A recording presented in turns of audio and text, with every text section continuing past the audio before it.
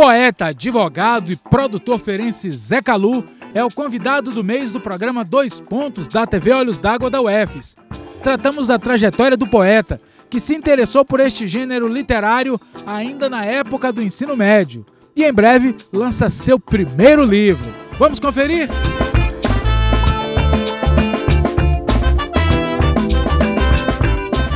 Zé Calu, a poesia entrou na sua vida? De que forma? A poesia entrou na minha vida de que forma? Essa é uma, uma grande pergunta. Eu acho que é, outro dia, essa é uma pergunta muito recorrente, recorrente né? As né? pessoas sempre é, querem saber como é que você começou a escrever e tal. Eu, eu acho que tentando buscar, relembrar o, como ela teria entrado, ela acho, acredito que primeiro pela música. Uhum. Né? Graças a Deus, é, é, em Uauá, onde eu fui criado, e na minha casa, na casa dos meus tios, nos ambientes que eu frequentava, eu sempre fui cercado de boa música, né? E a partir disso fui criando uma identificação, gostava muito de, de olhar as letras, interpretar. Mas eu, é, eu, eu tenho como um, um grande marco é, as gincanas que aconteciam aqui em feira. Né? Eu vim morar em feira na sexta, quando eu fazia a sexta série, 1991, e aqui tinham esse, esses eventos das gincanas dos colégios, que eram eventos sensacionais. É uma coisa que eu sinto que falta hoje na cidade. Uhum. E você. Não eram gincanas bobas, né? Você tinha um eram gincanas normalmente coordenadas por Marcos Moraes, professor Marcos Moraes, Sim. saudoso, saudoso, Luiz Alberto e outros professores, onde você é, tinha que estudar muito música, teatro, né, literatura, poesia. E aí eu comecei a me envolver nesse universo da gincana através do meu colégio, o Antares, que depois virou o Colégio Fênix, e é, pesquisar, estudar e gostar mesmo da coisa ao ponto de Marcos Moraes começar a me indicar para que eu fosse fazer trabalhos para equipes de gincanas de outros colégios. Uhum. Então eu comecei a escrever peças de teatro, paródias. E aí surgiram os poemas, cordéis, é, músicas que eu também componho de vez em quando. Componho melodia sem saber tocar. e letras, enfim. Eu acho que foi a partir dessa junção aí. A, a minha criação e essa, esse impacto que eu tive com a minha chegada em feira. No tempo da universidade, você exercitou muito isso, até pelo ambiente acadêmico, suscitar muito essa coisa da discussão em torno da poesia, da música? Foi quando a coisa realmente estourou. Uhum. Porque eu fui, eu fui para a UESC, né, Universidade Estadual de Santa Cruz, em Ilhéus, e a primeira coisa que eu fiz quando cheguei na UESC foi procurar o DCE, eu já era envolvido com o movimento estudantil secundarista aqui em Feira. E aí o movimento estudantil, aquela coisa pulsante, você tá ali participando das discussões e aí sempre ligado a atividades culturais, né? Sempre você sempre utilizando a, a música, o teatro e mesmo no curso de direito, que normalmente é um curso um pouco mais é, fechado, né? Exato. né? Mas mesmo assim é, fui me identificando, participando e utilizando sempre da poesia. Você hoje escreve compulsivamente, várias vezes, várias situações motivam você a escrever. Como é essa sua, essa sua lógica? Se é que no seu caso tem uma lógica de, de escrita, porque tem alguns poetas que e compositores que também não tem lógica nenhuma para escrever, né? É, eu acho que tudo é muito momento, né? Momento uhum. é observação. Tem dias que é, parece uma, uma metralhadora. As ideias começam a bater na cabeça, você vai vai juntando coisas. Às vezes você está construindo um poema, surge uma frase que já gera a ideia. Tem outros momentos em que é, você fica um pouco mais é, recuado.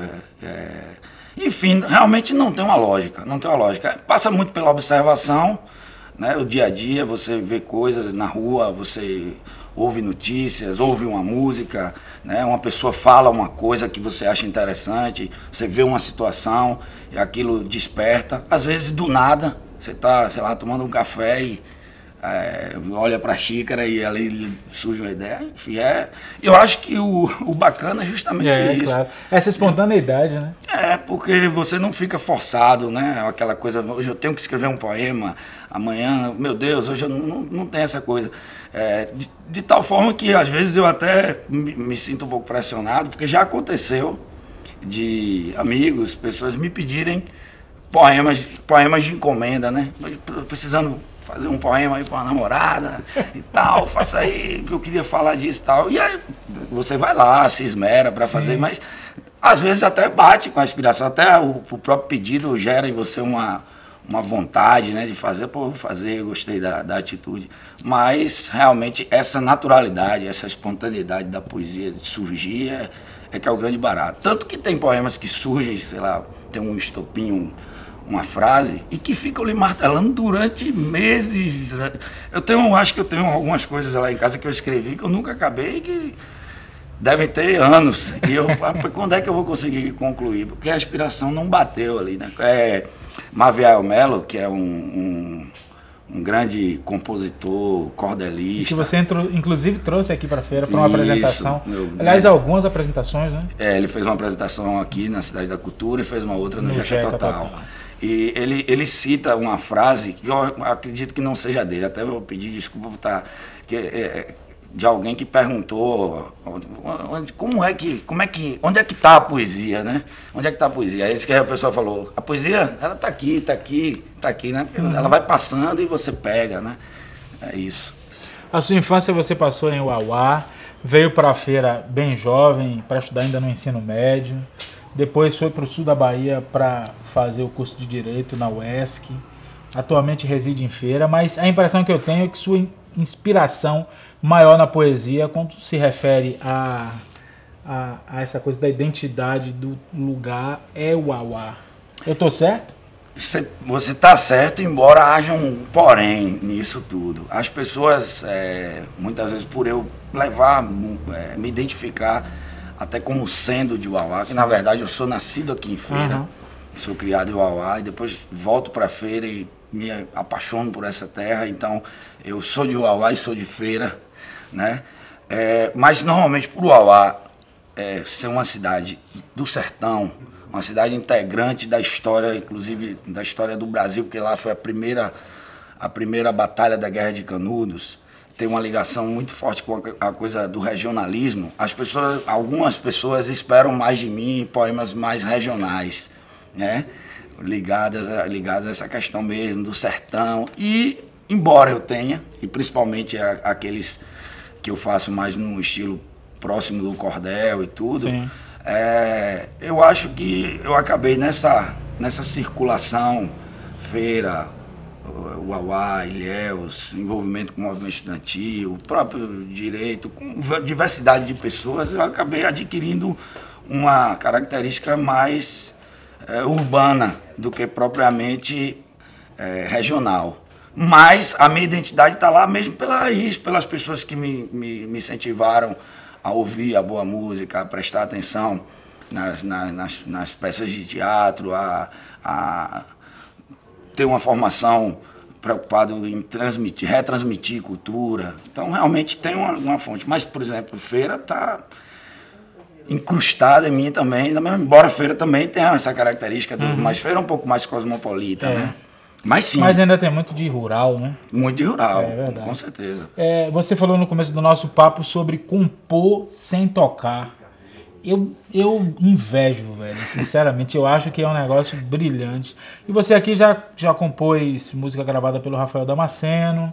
Eu sei que você e Paulo Costa já fizeram uma composição juntos. Se não me engano, você e Fabrício Barreto chegaram a, a discutir algo sobre essa possibilidade é, né? de a, musicar um poema seu. É, tem, Teve alguma coisa com o Clube de Patifes também? Sim, é, na, assim, tem algumas... E com outros nomes da música que não são é. Composições, é, Rafael Damasceno, ele é, adaptou melodicamente uma, duas músicas que eu entreguei a ele já com melodia e letra, né? Obviamente que ele maturou algumas Sim. coisas e aí, obviamente, tornou-se parceiro.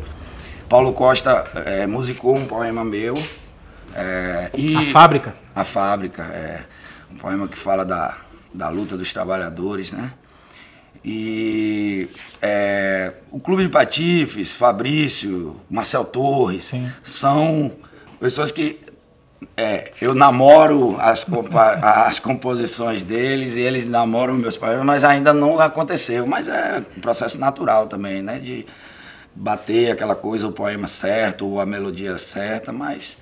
É, e a- além deles, aqui em feira, eu tenho, eu tenho composições com, com Del Feliz, que é uma composição uma, uma, uma música em homenagem ao Uauá, um projeto muito sensa um projeto sensacional do Del Feliz chamado Cantos da Bahia, em que ele homenageia várias cidades da Bahia, inclusive é um, são discos que são seriam se fossem utilizados nas escolas, são discos didáticos porque eh, as músicas contam histórias das cidades e aí no primeiro volume ele me convidou para fazer junto a música em homenagem ao Uauá.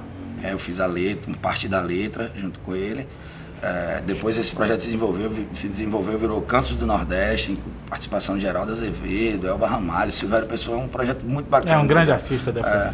Tenho também algumas, algumas composições com João Sereno, que é um grande compositor de Juazeiro, que é, compôs várias músicas para Dominguinhos. Dominguinhos, nos últimos discos dele, ainda em vida, gravou o João. E tem um, outros grandes parceiros lá de minha terra, Renan Mendes, Max Ribeiro, que não é um músico praticamente, é um advogado também, meu primo, irmão, e a maioria das minhas músicas é, eu fiz com ele, ele toca violão e tudo, algumas coisas eu já levei a melodia também, ele colocou. Então tem uma, tem uma turma boa aí. Como é que você concilia, Zé, a atividade no campo da arte, da poesia, é, com, com o trabalho como advogado? Se você for verificar na história da, da- da- na história do Brasil, você vai ver que diversos advogados, diversos juristas eram músicos, Exato. poetas, né? É, escreviam romances, enfim. Eu não vejo nenhuma, nenhuma incompatibilidade.